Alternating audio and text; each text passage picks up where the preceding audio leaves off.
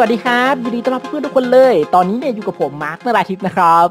ก็สลับตอนนี้เราอยู่กันในเว็บไซต์ที่มีชื่อว่า Easy Line นั่นเองนะครับ ก็สลับในคลิปนี้ผมไม่ได้มาสอนทำเงินจากเว็บ Easy Line นี้นะครับสำหรับในคลิปนี้เนี่ยผมจะมาทำการถอนเงินเฉยๆนะฮะ ซึ่งถ้าเกิดว่าเพื่อนๆคนไหนนะครับที่ดูคลิปนี้จบแล้วแล้วสนใจอยากจะเข้ามาทำเงินกับ Easy Line นี้กันดูบ้างนะครับ ก็สามารถคลิกลิงก์ที่อยู่ด้านล่างคลิปนี้ได้เลยนะครับ ก็โอเคครับผมเดี๋ยวเรามาทำการเริ่มถอนเงินกันเลยนะครับ ก่อนอื่นเนี่ยเดี๋ยวผมจะทำการเปลี่ยนจากคะแนนตรงนี้มาเป็นเงินก่อนนะฮะเพื่อที่เวลาผมถอนนะครับผมก็จะได้ทำการถอนทีเดียวทั้งหมดเลยนะฮะ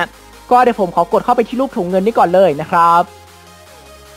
โอเคผมก็เดี๋ยวผมจะทำการกดแลกคะแนนมาเป็นเงินเลยนะฮะซึ่งการแลกคะแนนมาเป็นเงินตรงนี้นะครับก่อนอื่นเนี่ยเราจะต้องมีคะแนนนะฮะอย่างน้อย 1,000 คะแนนก่อนถึงจะทำการแลกคะแนนมาเป็นเงินได้นะฮะแล้วก็ในส่วนของขั้นต่ำในการถอนนะครับก็ต้องมีอย่างน้อย 2 ดอลลาร์ก่อนนะครับเราถึงจะทำการถอนได้นะฮะ ก็อย่างตรงนี้เนี่ยผมมีอยู่ 5,700 คะแนนนะครับ ก็จะทำการแลกทั้งหมดเลยนะครับ 5,700 คะแนนนะครับ มันจะเลขได้อยู่ที่ 5.7 ดอลลาร์นะครับ ก็ทำการกดสมิธไปเลยนะฮะ ผมจะทำการเปลี่ยนจาก 5,700 คะแนนที่ผมมีอยู่ตรงนี้เนี่ยไปเป็นเงินทั้งหมดเลยนะครับ เพราะว่าผมจะทำการถอนทั้งหมดเลยนะฮะ ก็เดี๋ยวรอเขาทำการประมวลผลแป๊บหนึ่งนะครับ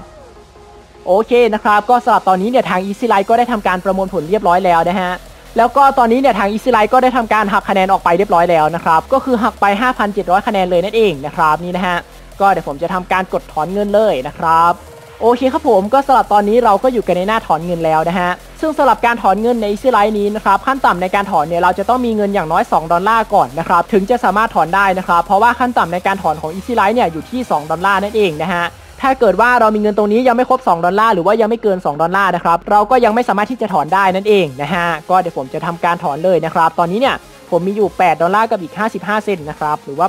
8.55 ดอลลาร์นั่นเองนะครับ ก็สำหรับการถอนเงินจะถอนได้ผ่าน PayPal ช่องทางเดียวนะฮะ ผมก็จะทำการเอาอีเมล PayPal ของผมมากรอกที่ช่องนี้ก่อนเลยนะครับ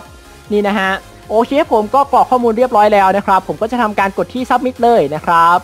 ก็สำหรับการกด Submit ตรงนี้นะครับก็เป็นการกดสั่งถอนเงินนั่นเองนะฮะซึ่งการกดสั่งถอนเงินตรงนี้นะครับเราจะต้องรออย่างน้อย 30 วัน เราถึงจะได้รับเงินนะฮะเวลาเรากดสั่งถอนเงินไปนะครับ ย้ำอีกครั้งนะครับว่าเราจะไม่ได้รับเงินทันทีเราจะต้องรออย่างน้อย 30 วันนะฮะ ซึ่งถ้าเกิดว่าเราทำการกดสั่งถอนเงินเรียบร้อยแล้วนะครับ มันก็จะมีแถบสีเขียวมาแบบนี้นะครับ ก็สลับหลังจากนี้ก็รอรับเงินภายใน 30 วันได้เลยนะครับก็สลับตอนนี้เราสามารถเช็คได้นะฮะว่าเฮ้ยรายการที่เรากดสั่งถอนเงินไปก่อนหน้านี้ หรือว่ารายการที่เรากดถอนไปตอนนี้ สถานะมันเป็นยังไงนะครับเขาจ่ายหรือยังหรือว่ากำลังรอการจ่ายให้กับเราอยู่นะครับ เราสามารถเช็คได้ตรงนี้นะฮะก็เข้ามาที่เมนูถอนเงินแล้วก็เลื่อนลงไปด้านล่างนะครับ เราจะเห็นในส่วนของรายการล่าสุด 10 รายการตรงนี้นะครับ ซึ่ง 10 รายการล่าสุดตรงนี้ก็คือ 10 รายการที่เรากดสั่งถอนเงินไปล่าสุดนั่นเองนะฮะซึ่งผมเองก็ก่อนหน้านี้เนี่ยก็กดสั่งถอนเงินไปก็รวมแล้วตอนนี้อยู่ที่ 31 รายการนะครับก็ได้รับไปแล้วเนี่ยรวมๆกว่า 20 รายการเลยนะฮะก็สำหรับใครที่อยากจะเห็นหลักฐานการจ่ายเงินที่ทาง Easy Light จ่ายให้กับผมนะครับเดี๋ยวผมจะแนบคลิปรีวิวไว้ให้ด้านล่างคลิปนี้นะครับก็สามารถที่จะเลื่อนลงไปแล้วก็กดดูกันได้นะครับ